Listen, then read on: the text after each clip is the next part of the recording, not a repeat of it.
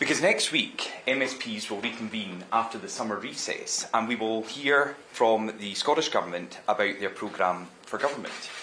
And this will be the first time that Humza Yousaf has delivered a programme for government. But it will be the last chance for the First Minister to step out of the shadow of his discredited predecessor and show Scotland that he's his own man. Because Scotland faces significant challenges. Despite welcome early signs that inflation is beginning to fall, our economy remains fragile. Our National Health Service is at breaking point, with one in seven Scots waiting for treatment. Our education system continues to fall down international rankings. Our transport system fails so many communities right across the country, with ferries delayed by more than half a decade and road upgrades that were promised a decade and a half ago. And in our councils, local services in all 32 local authorities remain cut to the bone. The Scotland we live in today is unsustainable. Despite the efforts of hard-working staff, our essential services are on their knees, reeling from one crisis after another.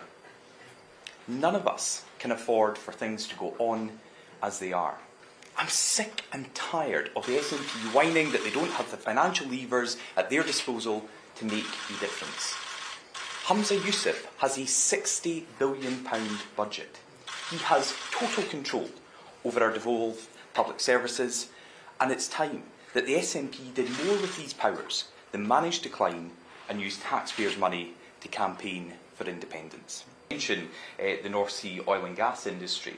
Uh, I was very proud to stand alongside the Prime Minister uh, just a few weeks ago when he was up in Aberdeenshire announcing more investment in carbon capture and storage and giving a, a very strong positive signal to that industry, which is the complete opposite from every other political party in Scotland who want to shut down oil and gas in the North Sea North Sea as quickly as possible, not only putting tens of thousands of jobs at risk, but also putting at risk our energy security. While there continues to be demand, we should want to get the oil and gas as close to home as possible, which is cheaper, with the taxation going into our own treasury and with a lower carbon footprint. So that type of investment, I think, uh, can be uh, and will continue to be supported by decisions of the UK government.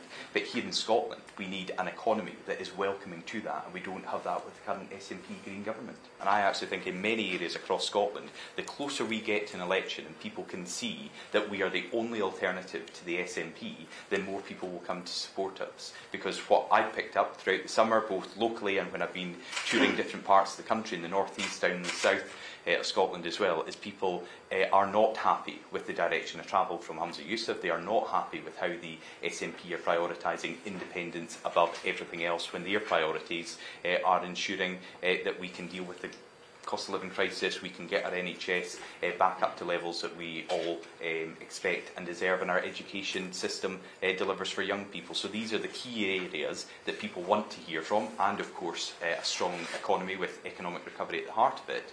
What they've heard from Humza Yousaf is line one, page one of an SNP manifesto will be about independence. That's completely the wrong priority. And the closer we get to a general election, I think more people will see in many seats across Scotland that it's only the Scottish Conservatives that can challenge the SNP on those issues.